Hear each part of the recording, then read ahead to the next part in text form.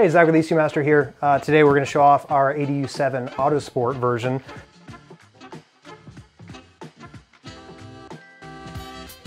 Uh, so we're going to do an unboxing. So the ADU7 Autosport version has this, all the same features as a regular ADU display, um, except it gives these beautiful Autosport connectors. So it's a round uh, machine mil-spec style connector. So you get into the box, you got some protective foam here, warranty card, pull that out of the way, and then here's the dash itself.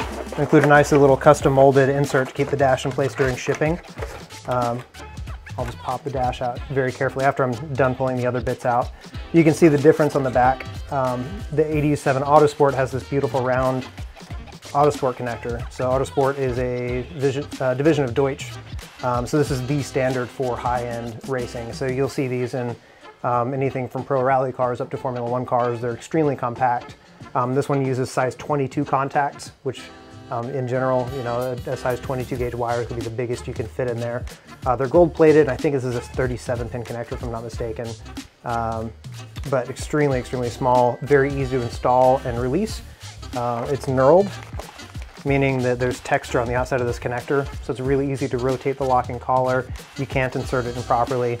You'll find the connector with terminals. You've got a pinning and depinning tool. These are a little bit sacrificial. You'll be able to use these you know, enough for one connector before they start getting chewed up. That's intentional. Um, they're made out of soft plastic so that don't damage the release uh, for the contact inside the connector. So don't ever use a metal tool on these.